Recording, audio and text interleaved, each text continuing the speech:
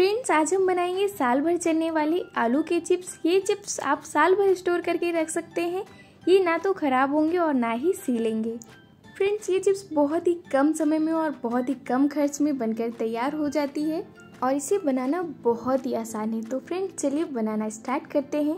But उससे पहले आपसे रिक्वेस्ट है, अगर आपको मेरी वीडियो पसंद आई हो तो प्लीज़ वीडियो को लाइक करना और चैनल को सब्सक्राइब करना। फ्रेंड्स आलू के चिप्स बनाने के लिए यहाँ पे मैंने वन के जी आलू लिए हैं। इसे मैंने अच्छे से वॉश कर लिया ताकि इसमें की मिट्टी निकल जाए। अब हम आलूओं को छील कर साफ़ पानी में रखेंगे ताकि आलू हमारे काले नहीं पड़े और चिप्स हमारे एकदम वाइट बने। तो फ्रेंड चिप्स बनाने के लिए आलू आपको नए लेने हैं जिनकी स्किन पतली होती है। और साथ में आलू आपको बड़े और चौड़े लेने हैं, जिससे कि चिप्स आपकी बड़ी कटेगी। बट मेरे पास अभी जो आलू थे, मैं वही यूज़ कर रही हूँ। साथ में आपको एक ट्रिक बताऊँगी, जिससे आप छोटे आलू से भी बड़ी चिप्स काट सकते हैं। तो ये देखिए, आलू को मैंने अच्छे से पील कर लिया है और इसे छीलने के बाद हम इसे पानी में ऐड करते जाएँगे। जैसे कि मैंने पहले आपको बताया है, जिससे कि हमारे आलू काले नहीं पड़ेंगे। तो चलिए, इसी तरीके से सारे आलू छील कर हम पानी में ऐड कर देते हैं। तो ये देखिए फ्रेंड सारे आलू मैंने छील लिए हैं। और इसमें जो पानी था वो मैंने फेंक दिया और इसमें दूसरा पानी रख लिया है। और अब हम एक बड़े बर्तन में पानी लेंगे, इसी में हम चिप्स काटेंगे। तो यहाँ पर मैंने एक चिप्स काटने की मशीन ली है। एक तरफ़ सिंपल ब्लेड लगी हुई है और एक तरफ़ ये डिज़ाइन वाली ब्लेड लगी है। दो तरीके से आप चिप्स काट सकते हैं। तो फ्रेंड्स अगर आप छोटी चिप्स काटना चाहते हैं तो आप आलूओं को सीधा रखिए और अगर आप चाहते हैं कि लंबी चिप्स कटे, यानी बड़ी कटे तो आलूओं को इस तरीके से पकड़िएगा। आलू छोटी भी होंगे तो आपकी चिप्स बड़ी कटेगी। तो ये ट्रिक अपनाकर आप एक ही आलू से छोटी और बड़ी दोनों चिप्स काट सकते हैं। तो फ्रेंड्स ये देखिए चिप्स हमारी कितनी बढ़िया सी कट रही है, एकदम डिज़ाइन वाली। चिप्स को आपको पानी के अंदर ही काटना है, जिससे कि आपकी चिप्स कभी भी काली नहीं पड़ेंगी। तो ये देखिए फ्रेंड्स इस तरीके से हम सारी चिप्स काट लेंगे और लास्ट में आप इसको आराम से काटिएगा, नहीं तो हाथ कटने का डर है। इस तरीके से आस्ते से काट लीजिएगा।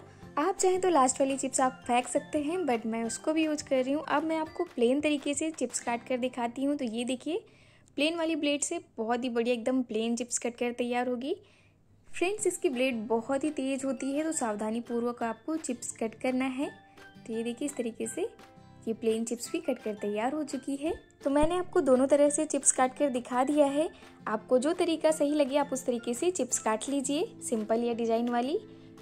और फ्रेंड्स अगर आप चाहते हैं आपकी चिप्स एकदम वाइट बने तो आपको चिप्स बनाने के लिए वाइट वाले आलू ही सिलेक्ट करने हैं।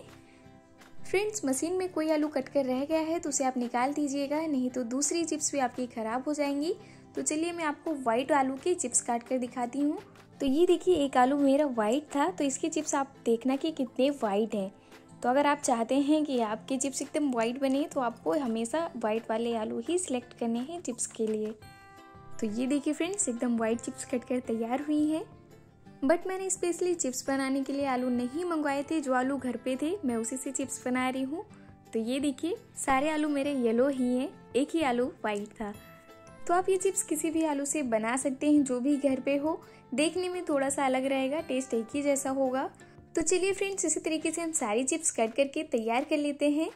तो आप देख सकते हैं, यहाँ पे मैंने सारी चिप्स काट ली है। अगर एक ही आलू में आपको कट करके दिखाती तो वीडियो बहुत ही लंबी हो जाती, जिससे कि आपका टाइम भी वेस्ट होता। वो मैं बिल्कुल भी नहीं चाहती। तो चलिए फ्रेंड्स, अब चिप्स को काटने के बाद हम इसे दो तीन बार साफ़ पानी में अच्छे से धो लेना है, ताकि आलूओं का स्टार्च निकल जाए। और चिप्स हमारी काली नहीं पड़ी तो आप देख सकते हैं फ्रेंड्स, यहाँ पे मैंने दो तरीके से चिप्स कट करके तैयार करी है। तो सारी चिप्स को हम इस तरह से करते हुए दो तीन बार अच्छे से वॉश कर लेंगे, इसका सारा स्टार्च निकल जाना चाहिए।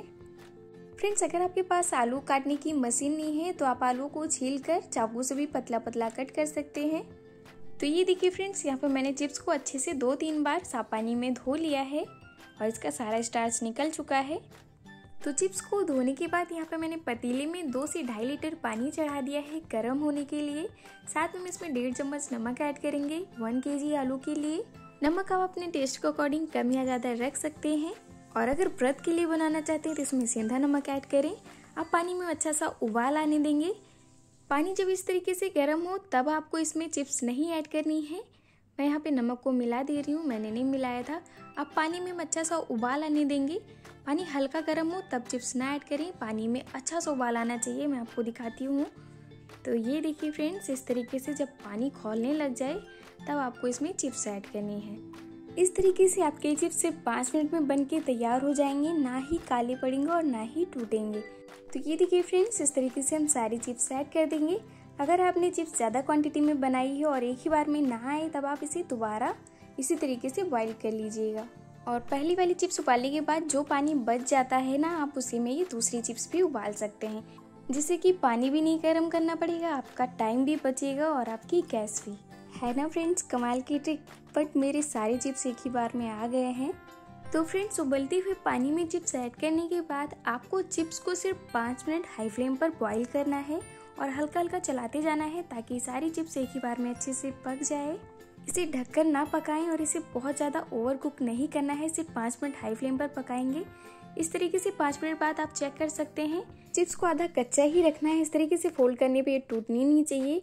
और जब आप अधिक प्रेस करें, यानी ज़्यादा प्रेस करें, तब ये टूटे, तब आप समझ जाइए कि चिप्स आपके अच्छे से पक चुकी है। तो ये देखिए, इस तरीके से मैं आपको तोड़कर दिखा रही हूँ। ये देखिए जब आप इसे ज़्यादा प्रेस करेंगे ना, तब ये टूटेगी। तो इस तरीके से इसे आपको 50 परसेंट ही कुक करना है। अब गैस की फ्लेम हम करेंगे ऑफ़। तो यहाँ पे मैंने गैस की फ्लेम ऑफ़ कर दी है। अब ले चलते हैं इसे हम धूप में। तो फ्रेंड्स, यहाँ पे मैं चिप्स को धूप में ले आई हूँ। तो यहाँ पे मैंने धूप में एक चुन्नी डाल रखी है। आप चिप्स को किसी भी साफ़ दुपट्टे या साड़ी पर धूप में डाल सकते हैं।